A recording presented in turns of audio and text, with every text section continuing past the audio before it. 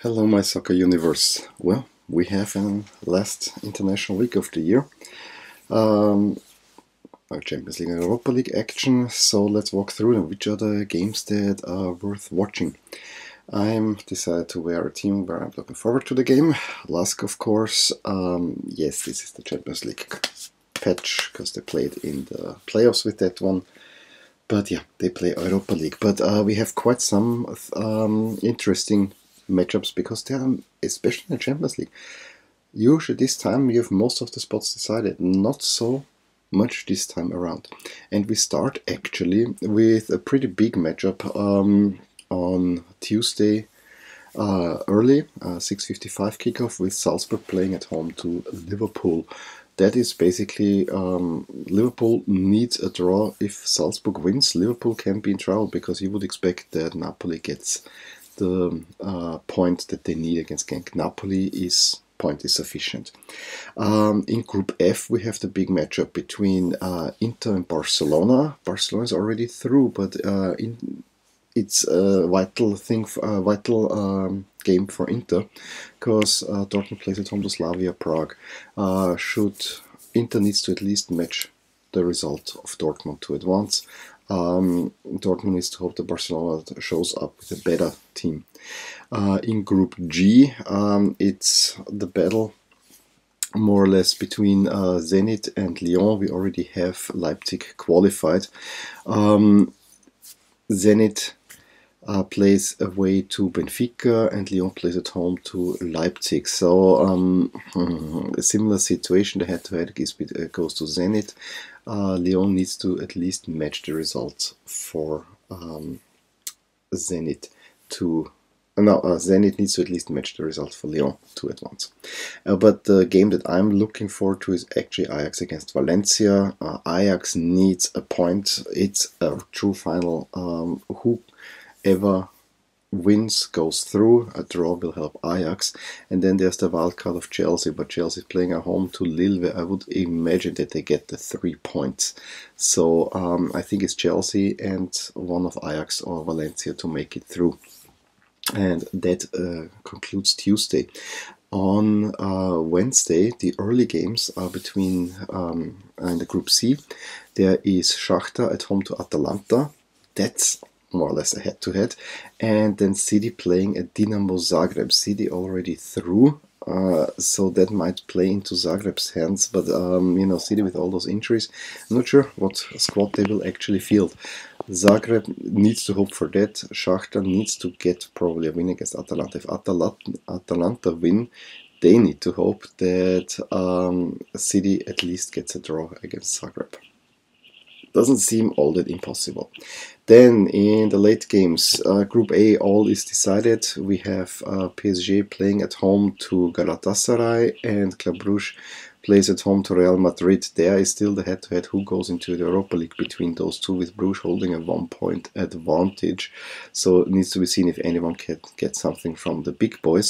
Uh, similar situation in Group B, but there it's a head-to-head. -head. Uh, Olympiacos hosts Red Star Belgrade uh, and needs a win against Red Star Belgrade. Otherwise, uh, the Serbs uh, through to the Europa League. The big clash Bayern uh, Tottenham has actually no implications on the table, but maybe Bayern can finish a perfect group stage. Um, and then in Group D, uh, it's also a tight one between Atletico and Leverkusen. We already know that um, Juve is through. Atletico plays at home to Lok Moscow.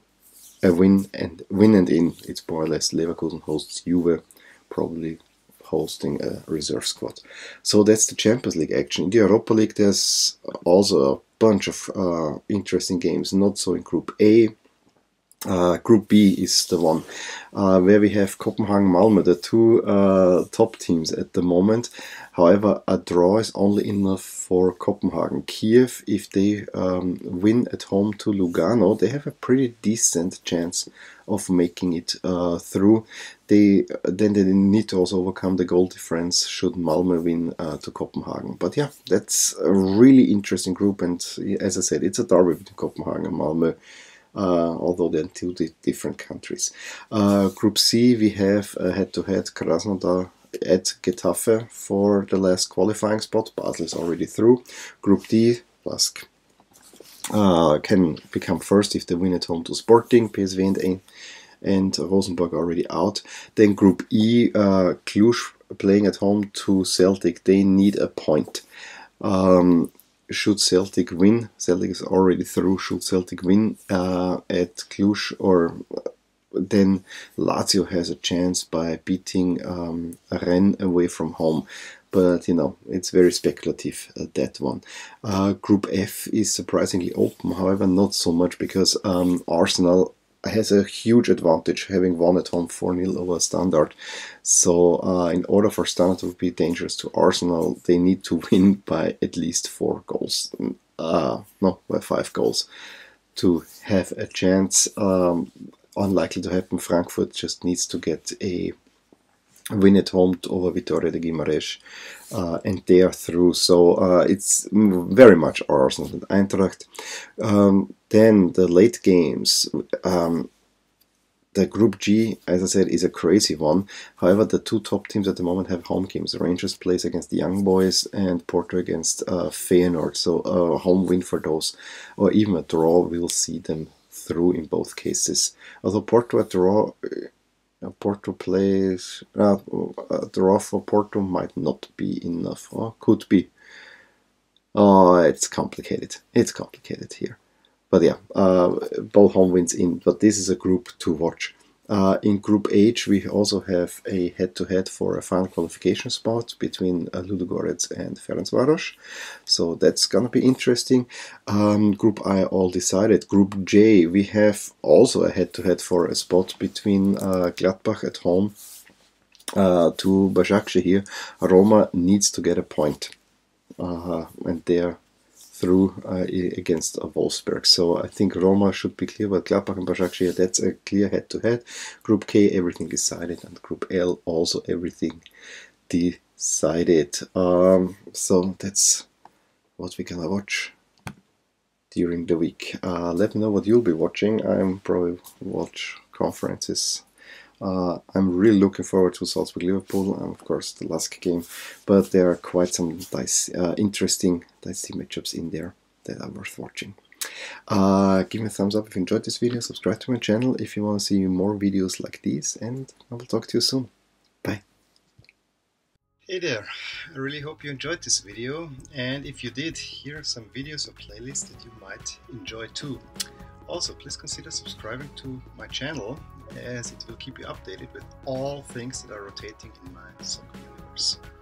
And with that, I'm gonna wish you a wonderful day. Bye.